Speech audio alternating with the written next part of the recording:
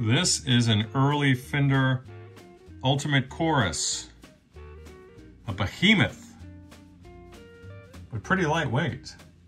And what am I doing? Replacing a jack and just some general servicing. And I just want to show you guys how I approach uh, servicing the bottom of this board, since you can just basically flip it up from the control panel once you got all that stuff loose. All I do is clamp this little Irwin quick grip and since there's no tension here, there's no tension on the pot, I don't need to worry about this. I mean, if I, it doesn't take any force whatsoever for this thing to be in this position. It's, this is not in jeopardy. But this is just how, how one guy does it. And that's it. Easy peasy. All right, so quickly, um, here's what I do. After you just add a small amount of solder, fresh solder, to the pins here. And just, my, I, my iron got cold here. I, I switched it off before I was able to clean the tip, so stop judging. What I do is I come in at this angle, and I'm really close, so I'm gonna bump the camera. And I like to go horizontal with this. And what I'll do is I'll lay it like this, and then I'll press the tip between and then I'll press into the side of the joint and then you could you could visualize it wicking the solder off. And when you see it's clear you just move over. Boom you do this one. Boom you do this one. That's all you're gonna do. And then so on and so forth.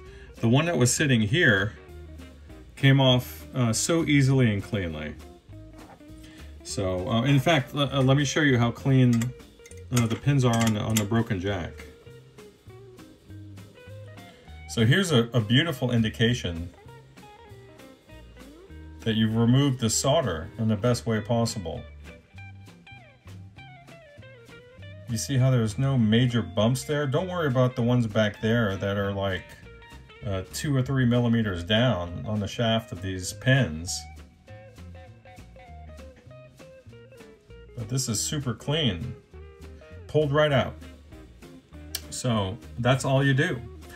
Um, and, and then you're not gonna you're not gonna damage the PCB material down there, the, the pads or the traces. So pretty easy. So uh, once this jack arrives, then we'll just reinstall it, put the amp back together, and that's it. But these amps are nightmares um, because these jacks here,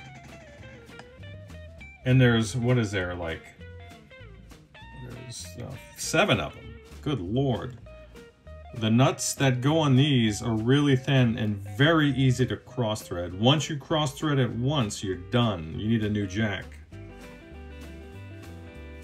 So these are very, very tricky to work on um, if you don't know the feel of it. Once you get the feel, of, of how these nuts go on to these uh, the threaded uh, bushings, uh, then you're in business. You could do it pretty quickly, but you still have to proceed with caution. So that's it. And uh, one more shot for the old thumbnail, huh? Maybe this will be the thumbnail, I don't know. You guys take care.